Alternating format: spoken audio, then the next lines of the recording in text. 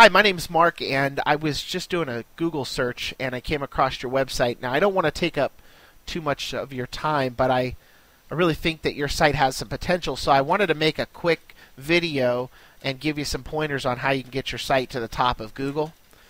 Now, most people know that getting on the first page of Google is going to get them a lot of calls, but check this out. Here's a pie chart that's provided by Google.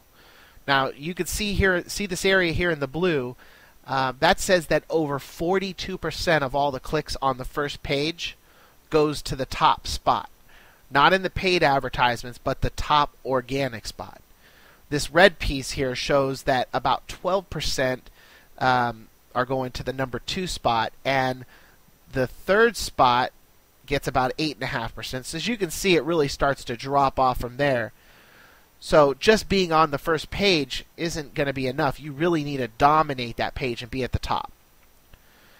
Now, I want to show you some keywords I found for you. This is the number one mistake that most business owners are making. They don't spend enough time doing proper keyword research. If you look here at the keywords that I found for you, you're going to notice two things. Number one, they're all local keywords targeting your type of business. But the main thing is that they're buyers keywords. It's very important to target uh, keywords that are that are searched by people looking to buy your product, not just do research. I mean, the internet's full of people looking for just information, so it makes a huge difference to go after people that are looking to buy. Now, another thing here I want to show you is how much work your site really needs. This is a, a website grader. It's a free tool. You can go check it out if you want to and read all these errors that it found. But the main thing I wanted to point out is your score.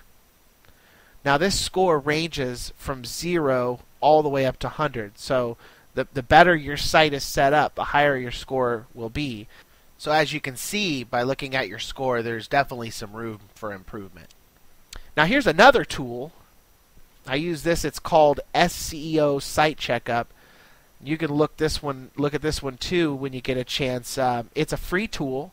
This one gives you a letter grade, but it also tells you a lot of reasons why your site's not very SEO or search engine friendly. One thing I can see on your site is that it can use backlinks now, without going into too much boring details, Google looks at backlinks like a referral to your business. You want lots of them.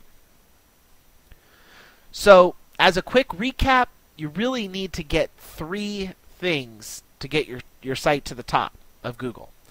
Number one is good keywords. Number two is with those good keywords, you really need well written content that uses those keywords, but not overuses those keywords. A good ratio is 2 to 4%. And last, you need to get lots of relevant backlinks. The best backlinks come from sites that are about the same things your site's about and are in your city or state. So I hope that I was able to give you some good information today. I I know it, it's it's a lot to soak in. SEO can be a bit overwhelming sometimes, but very rewarding. So feel free to give me a call if you need some help or you have any questions. I'm glad to help. Here's my contact information. I hope to talk to you soon. Thanks a lot.